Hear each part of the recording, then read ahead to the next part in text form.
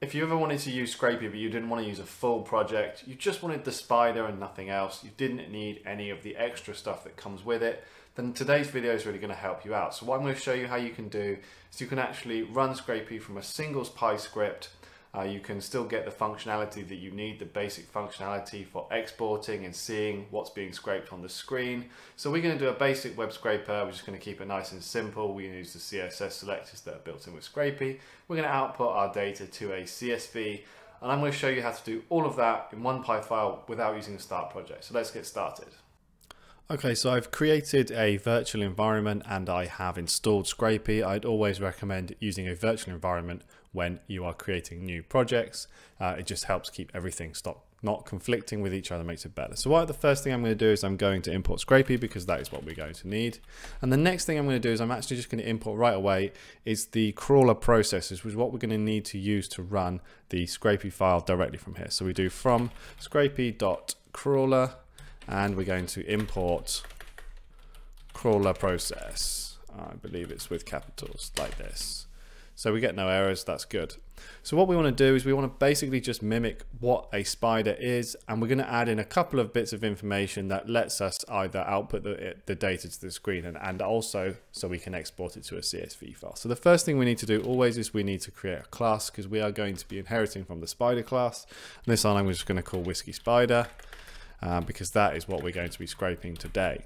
And I'm going to say this is a scrapy.spider as you would do normally. The next thing that we want to do is we need to give our spider a name. So I'm just going to call this one uh, whiskey for no real reason other than what it, in fact we'll do single malts because that is the section of the website that we're going to be scraping. There we go. The next thing that we need to do is we need to start our requests.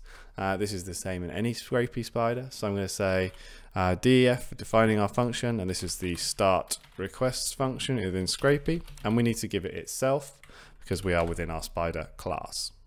The next thing we want to do is we want to yield out of this the actual URL and the response. So the, sorry, the request. So we do scrapy.request and I'm going to give it the URL here. So I'm just going to go straight over to the website for a minute. We'll have a look at it and then we'll come back. So here it is here. Uh, this is the, um, the section of the website we're going to scrape. There are 2,800 odd products and I have it set up to show uh, 24 per page, but I think we can do more than that.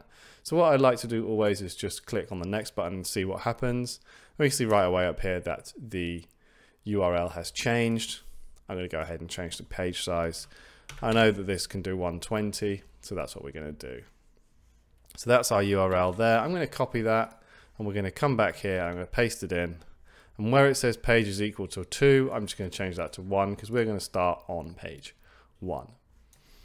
The next thing that we want to do is we want to now write our next function. Now this is our parse function. This is where we're going to actually take the data off each page.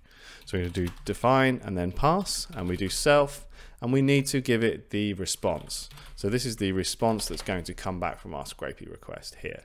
If we don't give it the response, we don't give it anything that can, uh, anything that has any data that we can get out of it. And the next thing that we want to do is we want to check out our website and see where all of the information is that we want to scrape. Now, if you're if you're new to Scrapy or, or web scraping in general, or even CSS selectors, I've got beginner videos on all of those. This video, I'm going to focus more on just running the crawler with the crawler process. So I might go quite quickly through the parse function here, but essentially what you want to do is you want to come to your website, do inspect element, and then use that to find out where all the product information is. So if I make this a bit bigger, you can see right away on this hand side, we've got a list class, product grid dash item. So I know that I'm going to need this, which is where all the products are. So what I'm going to do is I'm going to say our products is equal to response dot css and it was a list item so li and the class was product dash grid like that and now what we can do, because we found all of those elements and save them in this products variable, we can just loop through them. So for item in products, and now we can actually access the individual bits of data within each one. So if I open this up, There's extra information here.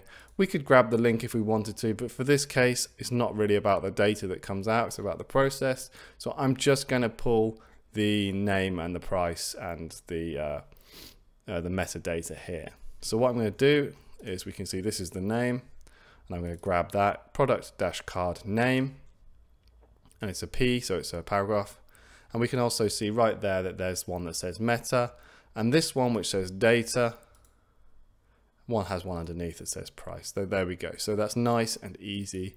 Couldn't have asked for a more simple, uh, uh, simple way of doing this. So what we want to do is want to yield out, and we want to do item.css. In fact, we need to call that something, don't we? So we're going to say name, and it's the item.css because we are looking in each item variable here that we're storing for each one, and it was a p tag product dash card name now we actually want the text from this. We don't want the raw element. So we can do dot text, uh, sorry, double colon text. Dot text is not in Scrapy. And then we do dot get like that. So that is going to basically go out and get the text from that element. So in bigger and badder Scrapy projects, you would absolutely use an item loader and the item class, and you would clean your data that way, and you would pass it all through the Scrapy pipelines uh, like you would want to. But in this case, we're just doing it in one script. So we're going to happily do dot get, and then we're going to move on. And we're also going to say the, I'm just going to call it meta for lack of a better thing, item.css. And again, it was a P, and this one was meta, so we can just write that. And then exactly the same thing, we can do text and dot get again. And finally, price. There we go, item.css. I like to use CSS selectors over XPath. It's just what I prefer. You can use the XPath selector, selectors if you rather. And again, text and dot .get. That is going to yield out of this response, so basically the HTML from the page, all of this bits of data for everything that we've got here. So now that we're at the point where we would be able to get all of the products and the information that we've specified here off of the first page, we might want to actually loop through all of the pages and get all of the data. There's a few different ways to do this. Um, I'm just going to do it with a simple uh, range loop because I can see right away here if I scroll down that there are 24 pages. So I'm just going to go ahead and what I'm going to do is for x in range, just move this up here and I'm going to say 2 to 25 because remember we're doing the first page here and then I'm going to say yield and we want to do scrapy dot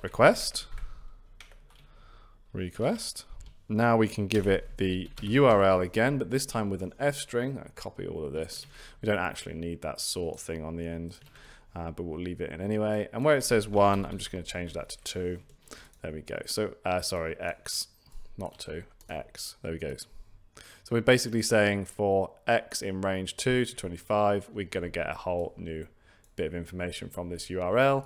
And then right at the end of this, um, sorry, this is off the screen a little bit. This is bad from make it one smaller. We need to basically say the callback is equal to self.parse. So what that means is for every one of these pages that we go through, we're going to call back our parse function and we're going to get this information. If you don't put that in there, you don't get any data back. So that's very important to add in. So now that that's there, we need to set up the crawler process that we've imported up the top here. So crawler process allows us to run this uh, with just within itself, within this script, without the rest of the Scrapy project. Now, Scrapy is built on the Twisted Asynchronous library, which is why we need to use a process and we need to do the crawler process settings first. Otherwise, we're not going to actually get anything to work. So I'm going to say process is equal to crawler process, which is what we've imported up here. I'll make that one bigger now that we're actually, there we go and I'm going to say we need to give it some settings. So to say settings is equal to and we'll give it a dictionary. We'll give ourselves some space. So in here, what we're going to do is we're going to put in the settings that we would normally have in our Scrapy project. And because we don't have the rest of the project to back this up, we're just using this one script. We need to put them in manually here. So what I'm going to do is I'm going to put in the feed data, which we can use the feed export, so we can actually export our data out. So the first thing I'm going to do is I'm going to write uh, feed URI and this is going to be uh, the name of the file that we're saving to. Uh, so I'm just going to call this whiskey.csv. And the next one is going to be the feed uh, format. And we're going to do here, we're just going to say it's a CSV. So that should work for us. Now we can actually use our process to run this script, this script within itself. So we can say process.crawl and we want to give our spider name here and paste that in and then process.start. So what this is going to do is it's basically going to use, as I said, the twisted asynchronous library, and it's going to go ahead and grab this data for us. So now if I run this, we'll go over and correct any mistakes I've made because I've just written this all out as is, and we'll see what happens. Okay, we can see everything zipping by. It's going quite quickly. And we can see down here, we have scraped count 2867, which was exactly what we had on the page. And if I open up here, we'll have a CSV file.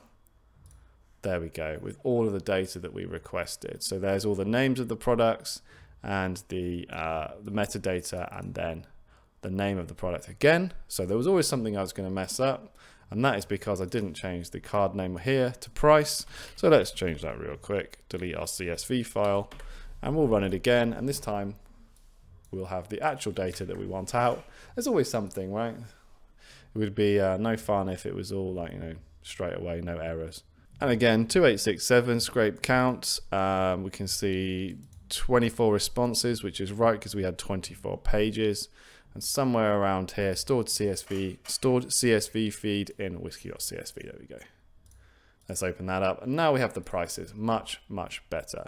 Now we can see that our data actually has some spaces on the front and maybe we would want to change the prices. What I'm going to do in this case is I'm just going to add dot strip onto each of these just to remove the white space.